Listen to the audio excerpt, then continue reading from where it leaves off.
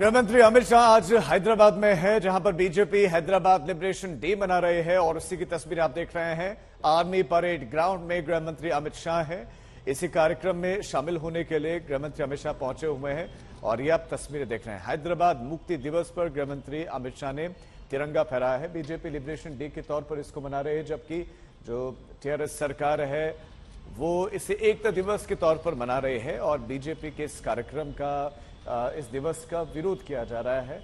और ओवैसी ने तो यहाँ तक कहा कि चुनाव भी नज़दीक हैं तो ऐसे में हिंदू मुसलमान करना चाह रहे हैं बीजेपी। तस्वीरें हैं आर्मी परेड ग्राउंड की। आज ही के दिन भारतीय संघ में विलय हुआ था हैदराबाद का, और बीजेपी से लिबरेशन डे के तौर पर मना रहे हैं। हैदराबाद मुक्ति दिवस पर गृहमंत्री अमित शाह ने तिरंगा फहरा दिया है। इस वक्त आर्मी परेड ग्राउंड में वो मौजूद हैं, और जो वहाँ पर फीडबैक फॉर्म होता है, वहाँ पर गृहमंत्री अमित शाह अपना कुछ नोट लिखते हुए इस वक्त देख रहे हैं। तो तस्वीरें आप देख रहे हैं इस वक्त।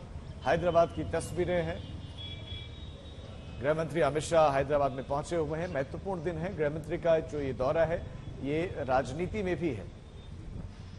वो इसलिए क्योंकि इसे जो विवाह के सत्ताधारी दल है, वो ये कह रहे हैं कि बस हिंदू मुसलमान किया जा रहा है और चुनाव की दृष्टि से इसको जो देखा जा रहा है। इसे एकता दिवस के तौर पर मनाया जा, जाना चाहिए था, लेकिन बीजेपी लिबरेशन डे के तौर पर इसको मना रही है। और गृहमंत्री अमित शाह इसी कार्यक्रम के लिए हैदराबाद में पहुँचे हुए हैं। हैदराबाद मुक्ति दिवस पर ये आप तस्वीरें देख रहे हैं।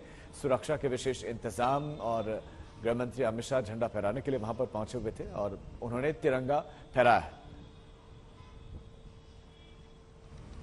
तो लिबरेशन डे मनाया जा रहा है। आज के दिन मशक्कत के बाद भारत में जुड़ पाई थी ये जो रियासत है और सरदार पटेल का बड़ा योगदान इसमें